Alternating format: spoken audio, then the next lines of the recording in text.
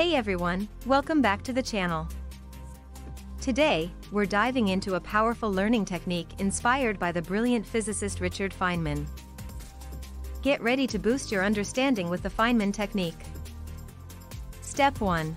Choose your topic. Pick that brain-bending concept you've been struggling with.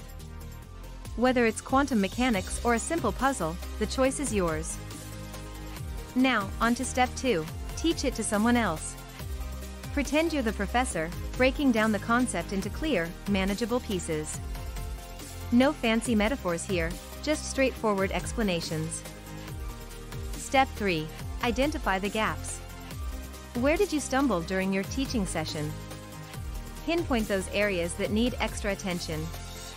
Time to hit the books again. Dive back into your learning materials and iron out those wrinkles until you master the troublesome spots. Step 4. Review and simplify. Repeat the process until you can explain the once confusing concept in the simplest, most straightforward way possible. And there you have it, the Feynman technique at work. What's your go-to-study technique? Share it in the comments below. Until next time, keep learning, stay curious, and rock that Feynman technique. If you found this video helpful, give it a thumbs up, hit subscribe, and join the journey to knowledge together. Thank you for watching.